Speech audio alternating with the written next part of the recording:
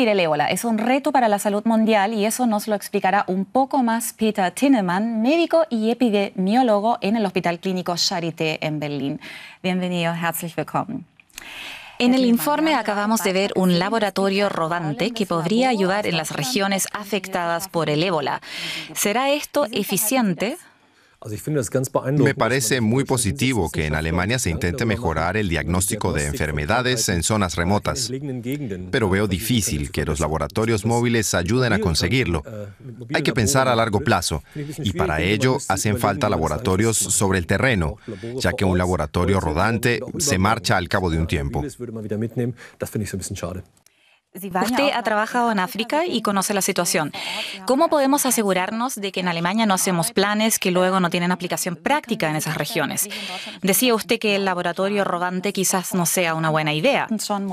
¿Qué se necesita realmente en África? Lo más importante es colaborar con colegas y expertos que procedan de los países a los que se destina el equipamiento. De esa manera puede adaptarse mejor a las necesidades de la población local.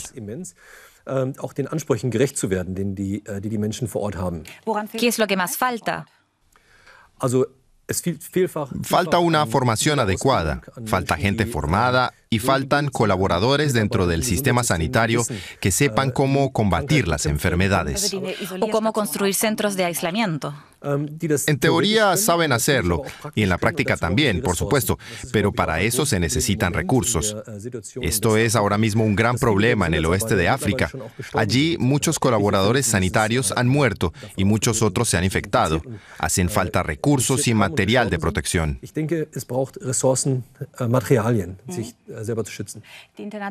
La comunidad internacional ha tardado en reaccionar. Ahora contribuye con personal y fondos, pero ¿es suficiente? Esa es la esperanza que tienen todos. Los datos muestran que la epidemia aún no está bajo control.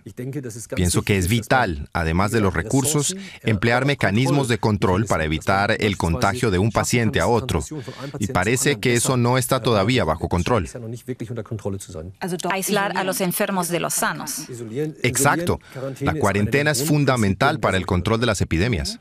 Em, en Berlín comienza dentro de poco la Cumbre Mundial de la Salud, en la que numerosos expertos debatirán, entre otras cosas, sobre el ébola.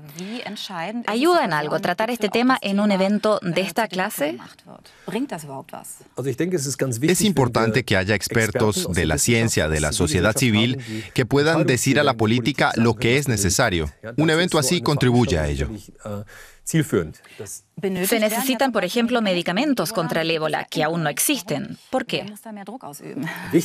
Una vez que se ha dicho lo que hace falta, es muy importante que se cumpla. Y aún no existen vacunas ni medicamentos eficaces contra el ébola. Creo que el sector farmacéutico participa en esta cumbre. Hay que dejar claro que necesitamos medicamentos contra el ébola, que ya se deberían haber desarrollado antes. Esperemos que el sector tome medidas. Gracias.